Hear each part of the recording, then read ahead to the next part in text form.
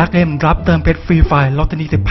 15-20%จากราคาบัตร Garena ถูก เร็ว ปลอดภัยใช้เป็นเลข Player ID เท่านั้นไม่มีการขอพาสเวิร์ด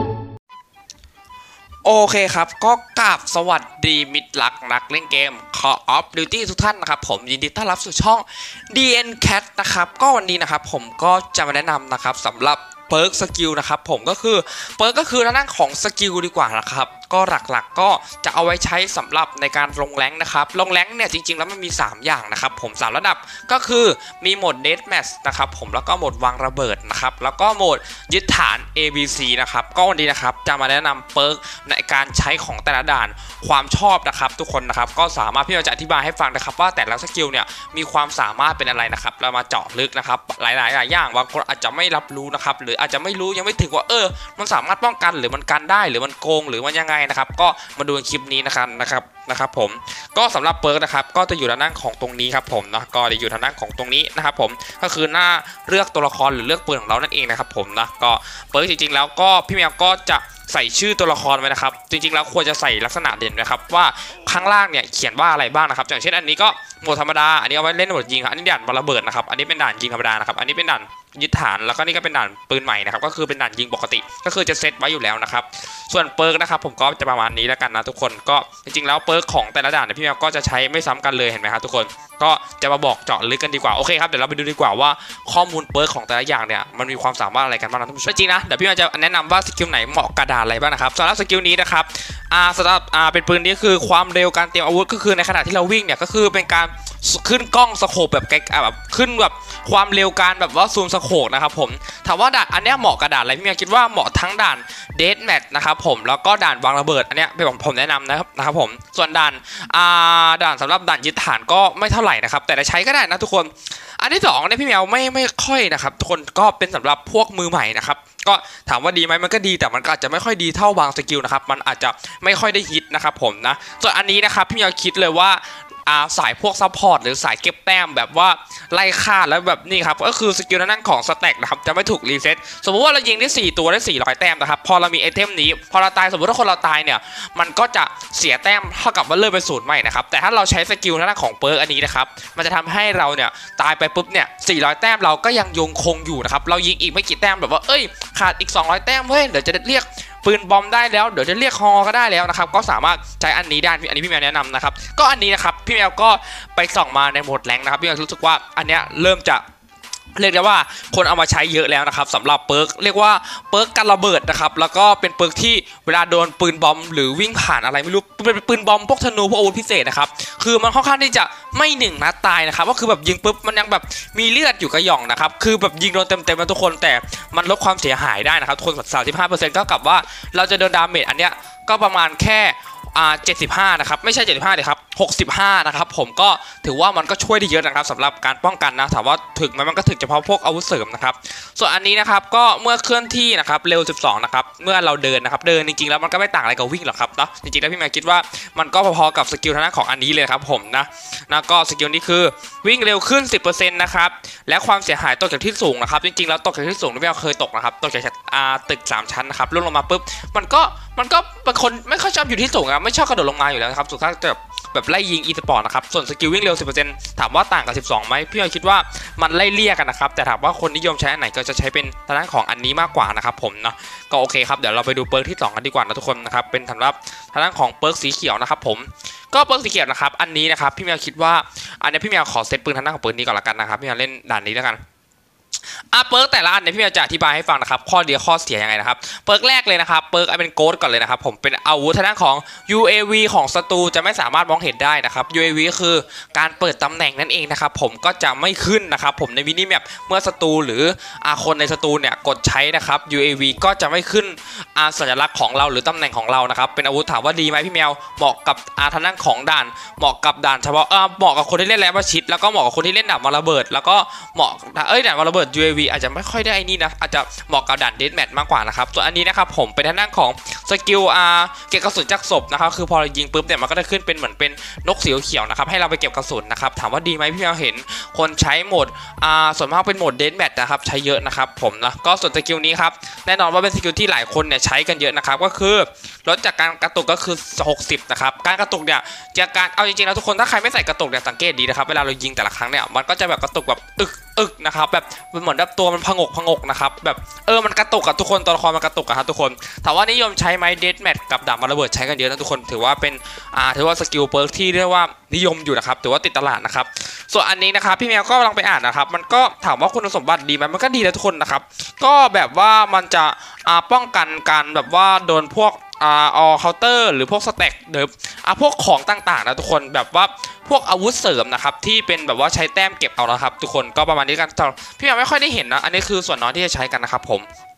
ก็อันนี้นะครับผมก็ส่วนตัวพี่แมวเนี่ยพี่แมวก็เอามาใช้นะครับ แต่บางด่านนะครับบางตัวละครที่เราเซตไว้นะครับมันจะช่วยป้องกันเนี่ยอ่า EM อ่า EMP ก็คือระเบิด EMP ครับแล้วก็อ่า control UAV นะครับผมจากนั้นก็อ่ามีทางด้านของอ่าไทนะครับอ่าทิปอ่ามันเป็นเหมือนเป็นระเบิดติดอ่าระเบิดอ่าไทม์แล้วคือระเบิดเหมือนเป็นระเบิดอ่าที่เป็นระเบิดปักอะครับทุกคนก็จะสามารถวิ่งทะลุระเบิดแบบว่าคือมันมันวิ่งทะลุ อาระเบิดนี้นะครับเป็นระเบิดกับระเบิดที่เป็นระเบิดแท่งใช่ไหมทุกคนมันจะวิ่งผ่านแบบมันไม่ระเบิดแบบไม่ทำงานแล้วทุกคนถือว่าเป็นค่อนข้างที่จะโกนะแล้วก็เปิร์กทาร์เก็ตของศัตรูด้วยนะครับถือว่าการสกิลได้หลายอย่างนะครับก็ดูจากรูปก็รู้แล้วนะครับว่ามันน่าจะการสกิลได้เยอะนะครับผมนะโอเคครับเดี๋ยวเรามาดู perk ที่สามกันดีกว่านะครับ perk สุดท้ายนะครับก็ถามว่าพี่แมวใช้ perk อะไรอยู่พี่แมวก็จะใช้หลักๆ ก็ใช้เป็นทางด้านของอ่าอันนี้ครับอันนี้พี่แมวใช้ด่าน Death Match นะครับผมแล้วก็ นะครับก็สำหรับด่านนี้นะครับพี่แมวก็ใช้เป็นทางด้านของ perk อันนี้นะครับผม perk เป็นทางด้านของ perk เก็บแต้มพี่แมวก็ใช้เฉพาะด่านที่เป็นด่าน Death Match นะครับแล้วก็เป็นด่านทางด้านของอาวางระเบิดพี่แมวไม่ใช้นะครับพี่แมวจะใช้อีกทีเป็นด่านทางด้านของอาด่าน A B C D นะครับอ่าไม่ใช่ A B C นะครับด่านยึดฐานนั่นเองนะครับพี่แมวก็ถือว่าเป็นอาวุธที่คนใช้กันเยอะนะครับปกติเนี่ยเราจะได้ประมาณเกือบ 120 แต้มมันก็สามารถขึ้นมาถึง 150 170 แต้มทุกคนลองสังเกตดีแบบเอ้ยทำไมแต้มมันแบบยิงแค่3 4ทีสามารถได้ไอเทมอ่าเป็นพิเศษได้แล้วมันก็ถือว่ามันมันมีโบนัสแต้มด้วยบวกกับค่าต่อเนื่องด้วยนะทุกคนนะครับก็อันที่สองนะครับเป็นทางด้านของอ่าดีโมนะครับผมก็คือเพิ่มความเสียหายของระเบิดนะครับก็คือระเบิดในที่นี้ก็คือพวกระเบิดปาระเบิด พวกระเบิดปักระเบิดอ่าพวกระเบิดปาทุกคนแล้วพวก เออระเบิดปาทุกคนเอาจริงๆคือถามว่าระเบิดเนี่ยเอาจริงมันแรงอยู่แล้วไหมมันแรงครับพี่แมวเคยโดนแบบว่าบางทีแบบแม่งปามาแบบเป็นระเบิดวิอะครับทุกคนปาปุ๊บระเบิดอ่าพวกม่วงม่วงๆระเบิดติดผนังนะครับก็คือแบบมันก็ damage แรงอยู่แล้วนะครับแต่อันนี้คือจะบวก damage คือปกติเนี่ย damage ระเบิดพี่แมวคิดว่าน่าประมาณ100%นะครับก็คือแบบ damage มันคือ 100 นั่นแหละ ก็คือสมมติถ้าโดนทีเดียวเนี่ยเราอาจจะตายนะครับ หรือไม่อาจจะแบบเลือดเหลือแบบหลอดดำๆนะครับนะก็ถือว่าเป็นอาวุธที่ค่อนข้างที่อาจจะคนไม่ได้ค่อยได้ใช้เยอะนะพี่คิดว่ามันก็ปกตินะทุกคน อันที่สามนะครับเป็นทางด้านของอ่ามาร์คนะครับเป็น tactical นะครับผมก็คือลดระยะส่งผลนะครับทุกคนนะครับของศัตรูนะครับก็คือบนตัวเราก็คือพี่แมวไม่แน่ใจว่า tactical เนี่ยมันจะหมายถึงอ่า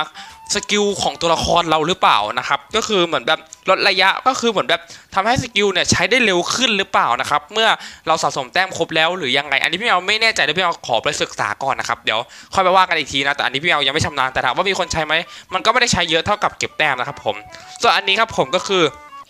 ได้ยินเสียงเท้าชัดเจนนะครับ ถามว่าเป็นอาวุธที่ดีไหมดีครับ ข้อดีคือสามารถเอามากันสำหรับ skill นี้ครับ เป็น skill skill นี้คือลดการเคลื่อนที่นะครับ สาย assassin เนี่ยหรือสายระยะประชิดเนี่ยจะใช้ปืนเนี้ยอาจจะเรียกว่าใช้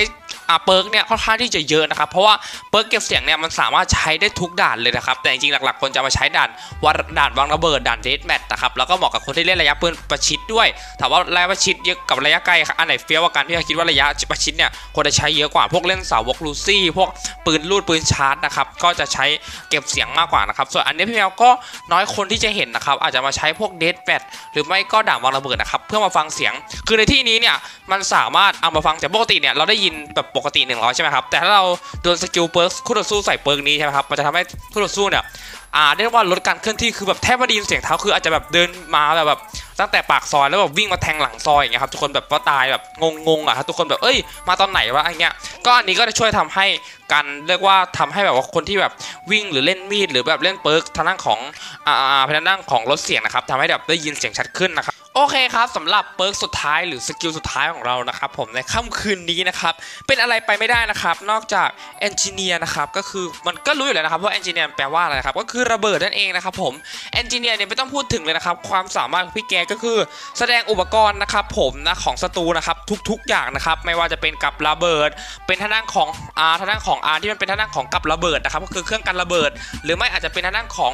อ่าเป็นปืนกลนะครับจะเห็นเป็นแดงๆเลยนะครับว่ามันอยู่ตรงไหนตรงไหนตรงไหน แล้วไม่ใช่เราคนเดียวนะครับที่ได้รับความสามารถนั้น คือเราเอา skill นี้ว่า skill เดียว เพื่อนในทีม 5 คนก็ได้รับ skill ที่เราใช้ด้วยนะครับ เพื่อนเราก็สามารถมองได้นะครับ ว่าแบบเออเนี่ยคือแบบเออเพื่อนเนี่ยระเบิดปักอยู่ตรงนี้นะอะตรงนี้มีตรงนี้ตรงนี้มีเครื่องกันระเบิดอะไรอย่างนี้นะครับมันก็จะบอกจุด ถามว่าอาวุธเนี่ยเหมาะกับด่านไหนนะครับก็จริง ๆ แล้วจริง ๆ แล้วพี่แมวคิดว่าน่าจะเหมาะกับด่านวางระเบิดร้อยเปอร์เซ็นต์นะครับคือแบบมันมีประสิทธิภาพที่สุดอะถ้าอยากให้มันแบบมีประสิทธิภาพจริงๆนะครับ skill นี้เนี่ยเกิดมาเพื่อเล่นด่านวางระเบิดโดยเฉพาะเลยนะครับก็ถือว่าเป็น skill ที่มีความน่าสนใจนะครับแล้วก็ด่านวางระเบิดเดี๋ยวพี่แมวเอามาทุกครั้งเลยนะครับเพราะว่าเอามาทำให้ทีมเนี่ยเล่นง่ายขึ้นแล้วก็ประมาณนี้แล้วกันนะครับก็สำหรับคลิปนี้นะครับเป็นการอธิบาย perk นะครับความสามารถนะครับก็อาจจะข้อมูลบางอย่างอาจจะผิดอาจผิดพลาดไปนะครับต้องขออภัยมาณที่นี้ด้วยนะครับก็ถือว่าเป็นการหาความอันนี้คลิปนี้เป็นอาจจะเป็นแบบว่าครึ่งสาระละกันนะครับก็อยากมาแนะนำ perk ในการใช้ของแต่ละด่านนะครับ ทุกคนจะได้เอาไปเลือกใช้ให้เหมาะกับแต่ละด่านนะครับก็จะขึ้น rank master กันแบบไวๆนะครับตอนนี้พี่แมวก็อยู่ pro 3แล้วนะครับ เดี๋ยวก็จะไต่ไป master แน่นอนไม่ต้องห่วงนะครับ ก็สำหรับวันนี้นะครับ ถ้าใครชอบคลิปนี้ก็อย่าลืมกดไลค์กดไลค์กดแชร์นะครับ เจอกันคลิปหน้าคลิปใหม่บ๊ายบาย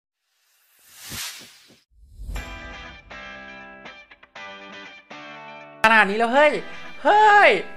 แตกเย็บแตกจนได้ครับโอ้โหหล่นลงมาเพื่อน อะ เออ มา